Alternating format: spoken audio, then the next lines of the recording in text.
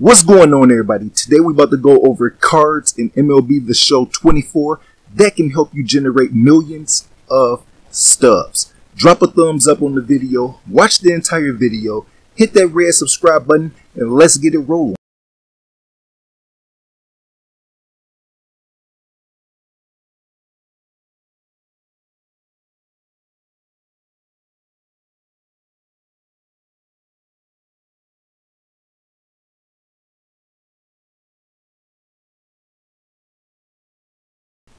CJ Abrams, first investment, very cheap, 16th in OPS, 28th in batting average.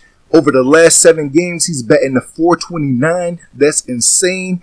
And barely over 1,200 stubs. Lefty batter, great speed, decent all around stats. He's been crushing righties, but he holds his own on lefty on lefty. On lefty on lefty, you can see his power needs to go up about a plus eight, and that will help him get probably a plus two.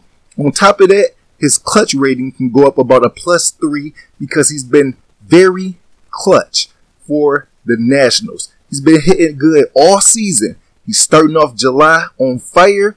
Last month, he was already at about a high 300s average. He's picking right back up in July. Go ahead, get this card hold them for the next roster update and watch the stubs come in. Logan Gilbert, top 10 ERA, top 20 in Ks. This guy right here, he only played three games in June, but he had a 1.51 ERA with a 2 and 1 record. If he can go into July, his first two starts, and he can be in control, just like he was in June, that will help him get that plus two and you are paying the bare minimum for him. Ks per nine can be up to about 70. That right there will put him at an 85 overall minimum on the Mariners. They don't have a diamond right now. He should be locked in to go diamond. His first two games are decent, giving up two runs or less and getting 5 Ks or more in his first two starts. Lock him in for diamond. Christian Walker, 259 average, 18 home runs on the season, only a 245 in June, but he's starting off July with a 400. He has been on fire recently.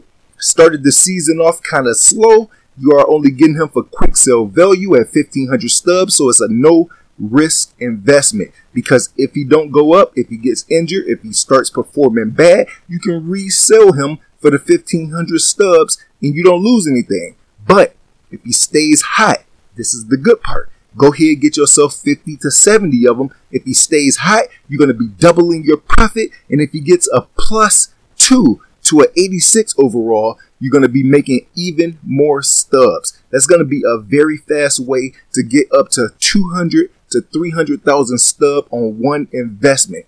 I think he's going to stay dialed in, help the Diamondbacks over the next month, put up some more home runs. He has 18 on the season, hitting with a lot of power. Now we just need a contact boost, and we all set.